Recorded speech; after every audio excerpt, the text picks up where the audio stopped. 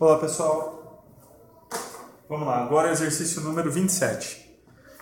Ele é um pouco parecido com o exercício número 19, tá? Então quem é, lembra, 19 a gente fez na sala de aula, ah, deve ter a resolução dele aí com vocês, ou, ou, algum de vocês deve ter essa resolução, dá uma olhada lá, é um pouquinho parecido. Pelo menos a lógica dentro é a mesma. Uma mercadoria teve um desconto de 20% sobre o preço de venda. E mesmo assim, o vendedor conseguiu um lucro de 20% sobre o preço que pagou por ela. Se o desconto não fosse dado, seu lucro em porcentagem seria de quanto? Bom, o ponto principal aqui é o seguinte: nesse tipo de exercício, mesmo que ele não use a palavra custo, existe um preço de custo, que a gente vai chamar de C, existe o preço de venda, que a gente vai chamar de V, e existe o lucro, que a gente vai chamar de L. É, Para quem lembra, né, ou, ou, quem não lembra, eu vou relembrar agora, o que, que é o lucro? É a diferença entre o que vendeu e o que custou, o preço que vendeu e o preço que custou. Isso aqui é o lucro. E ele falou aí de uma promoção ou de alguma situação assim, que o preço de, que ele, ele vendeu de verdade não foi esse preço aqui. Foi com 20% de desconto sobre o preço de venda. Teve 20% de desconto. Então tá. O que, que isso aqui significa em números para a gente? Se a gente fosse traduzir esse desconto em número, o que, que significaria? Existia um preço V, existia um preço V, que vai ter um desconto de 20%. Então, ó, menos 20%. Voltamos naquela mesma situação. 20% de quem? De V. Então tá, esse preço V menos 20% dá quantos por cento de V? Lembra, ó, qual que é o valor aqui? V, 1. E isso aqui é a mesma coisa aqui? 100%. Então a gente está falando de pegar o V, 100% dele, e tira 20. Quanto que vai sobrar?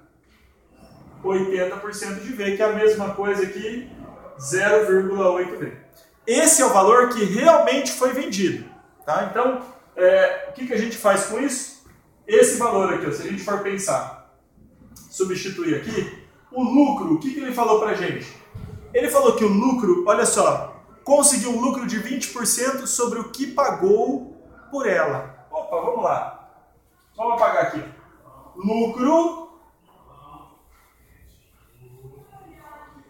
Lucro de 20% do que pagou por ela. Então, ó, o lucro a gente vai chamar de L. 20% de qual que é o, o nome que a gente usa para o que pagou? É o que custou, é o, é o C. Então, o lucro vale 20% de C, o lucro vale 0,2 C. Usando aquela lógica, lucro é o preço de venda menos o custo, preço de venda menos o custo, menos o preço de custo. Nesse caso, o nosso lucro vale quanto? Ó, 0,2C. De quanto foi o nosso preço de venda de verdade? Não foi esse V, porque daqui, ó, ele fez uma o quê? Ele fez uma promoção, ele deu um desconto. Então tá, 0,8V. Menos o preço de custo, que, que foi quanto? C.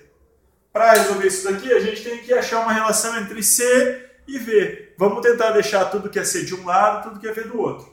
Então eu vou tirar esse C negativo daqui, esse C que está faltando. Ó. Eu vou colocar um C aqui e vou colocar um C aqui eu já tinha 0,2C. Com mais um C, 1,2C.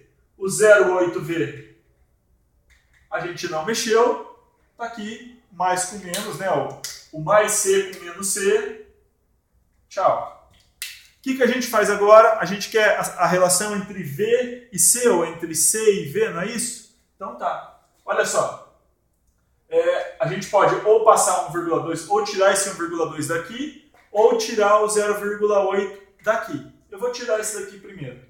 Então eu vou dividir aqui por 1,2. Vou dividir aqui por 1,2. Vai ficar aqui o custo, ele é o quê? Ele é o valor de ah, 0,8 por isso aqui vai dar 0,75482. Não, vai dar 2 terços. Então isso aqui vai dar 0,66. Eu vou manter aqui 2 terços de V, para ficar um pouquinho mais fácil. Na verdade, eu vou até fazer o seguinte, ó, para ficar um número melhor, eu vou voltar aqui, vou voltar aqui e eu vou tirar, vou, isolar o V, assim você trabalha com o número melhor. Eu vou tirar aqui, ó, dividir por 0,8, dividir por 0,8. Que, que vai dar então? 0,8 por 0,8 dá 1, aqui vai ficar V. E 1,2 por 0,8 vai dar 1,5C. Então, o V, o preço de venda, é 1,5 vezes o C.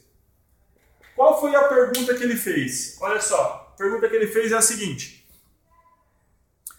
Se o desconto não fosse dado, quer dizer, se o valor realmente custasse V, o seu lucro seria quanto? Olha só, se a gente não desse desconto, e em vez de vender por V, vendesse por isso daqui, o preço de venda representaria uma vez e meia o preço de custo. Se a gente fosse reescrever isso aqui, seria 1C mais meio C. Isso aqui que seria o preço de venda sem o desconto.